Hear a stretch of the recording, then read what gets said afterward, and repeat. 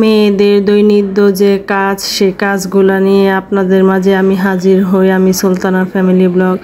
আসসালামু আলাইকুম বিয়ার্স আপনারা সবাই কেমন আছেন? আলহামদুলিল্লাহ, আমি তো অনেক অনেক ভালো আছি। তো প্রতিদিনের মতো আরেকটা সুন্দর ব্লগ নিয়ে হাজির হলাম আমি সুলতানা ফ্যামিলি ব্লগ। তো দেখতে তো পারলেন, আমি বাহিরে মানে বারান্দায় গতকালকে বোয়া যে কাপড়গুলা ধুয়ে শুকা দিয়ে গিয়েছিল, সেগুলা উঠায় নিলাম। কারণ বোয়া কাজ করবে, বোয়া তো চলে এসেছে। তো এর মধ্যে আমি রান- রান্না করি না, আজকে আমি আমার রুমে আজকে একটু গরম দেখে রুমে কাটাকাটি করেছি। আর রান্না তেমন কাটাও ছিল না, শুধু মিষ্টি কুমড়া আর পেঁয়াজ, কাঁচামরিচ।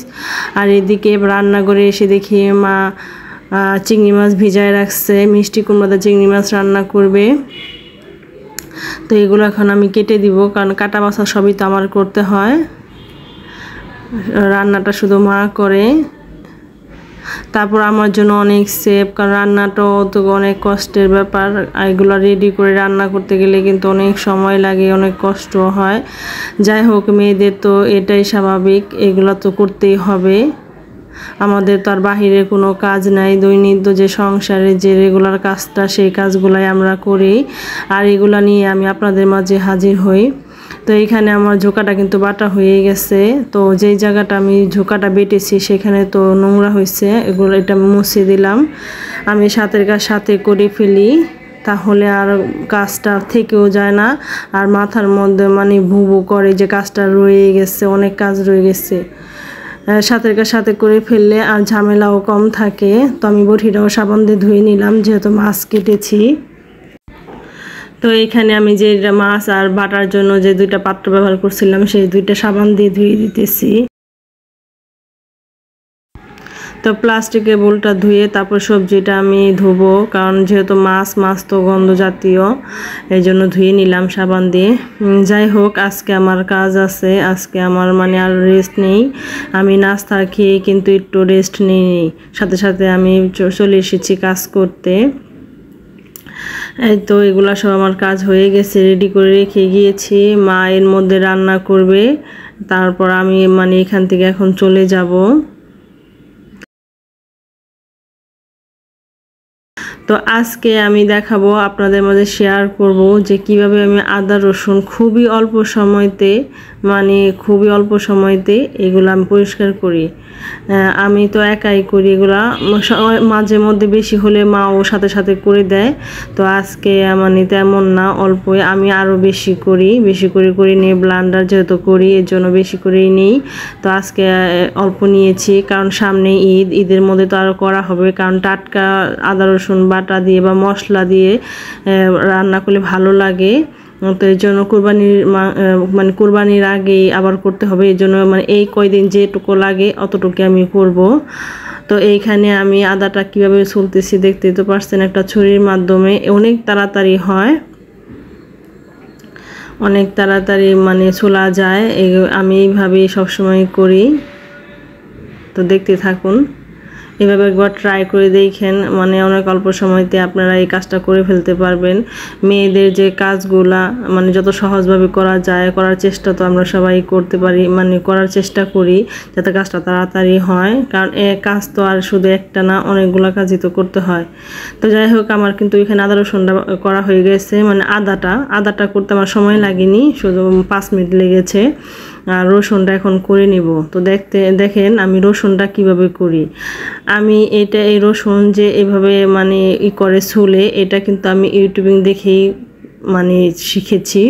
তো ট্রাই করে দেখেছি হ্যাঁ অনেক অল্পতেই হয়। কারণ আমার রসুন ছুলতে গেলে হাতটা জ্বলে আর সময়ও লাগে যদি বটি দিয়ে একটা একটা করে করি।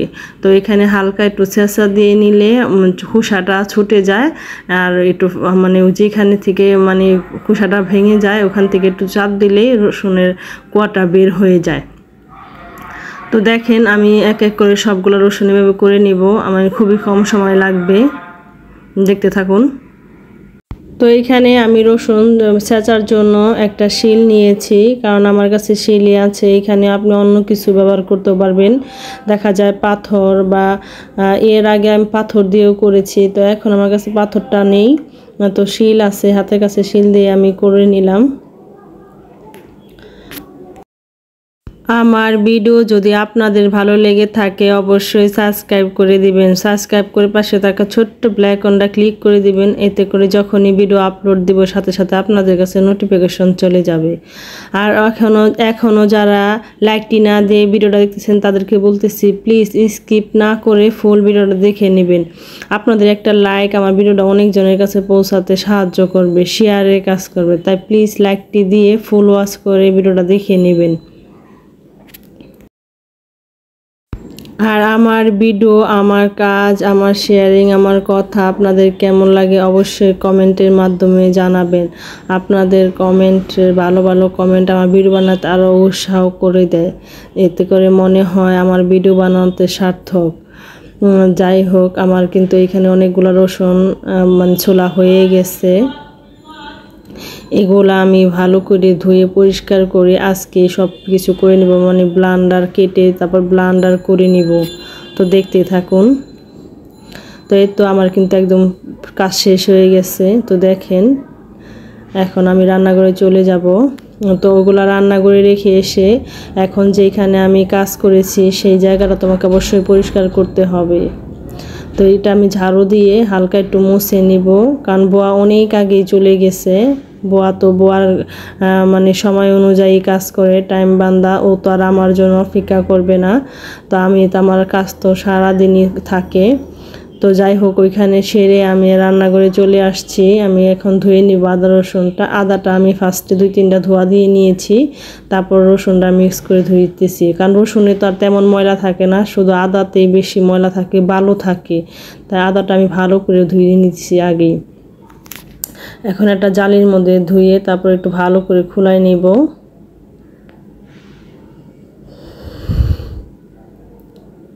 আমাদের মেয়েদের ঘরে কিন্তু টুকিটাকি অনেক কাজ থাকে, অনেক বেশি কাজ থাকে, অনেক কম থাকে, অনেক হার্ড কাজ থাকে। তারপর মাঝে মধ্যে শুনতে হয় যে কি কাজ করি, কি কাজ করি। এতে মনটা অনেক সময় মানে নর ওই হয়ে যায়, দুর্বল হয়ে যায় যে আমরা তো, আমাদের তো কাজই এটা। আমরা তো আর এখন অফিস আদালতে চাকরি করি না যে আমাদের কাজ বেশি থাকবে। যা কাজ তাই তো করতে হবে, তাই না? যাই হোক, এটা বলবে মানুষ তো, মানুষের মুখে কথা তার আটকে রাখা যাবে না। তো এখানে আমার কিন্তু একদম ধোয়া হয়ে গেছে, আমি আবার রুমে চলে আসছি।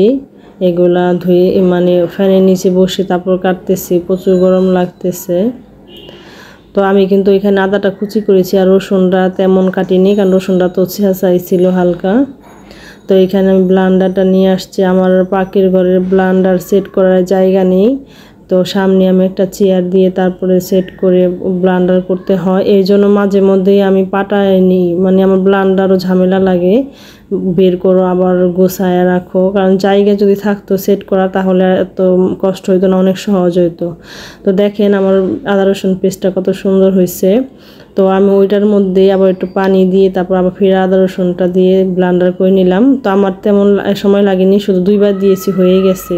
ফার্স্টে একটু কম দিয়েছি, পরে আর একটু বেশি দিয়ে মানে দিলেই হয়ে গেছে গা। তো এখানে আমার আদা রসুনের পানিটা আমি রেখে দিলাম, ওটা রান্না করতে কাজে লাগবে। তো সাথে সাথে আমি ব্লান্ডারটা আমি নিজের হাতে ধুয়ে ফেললাম।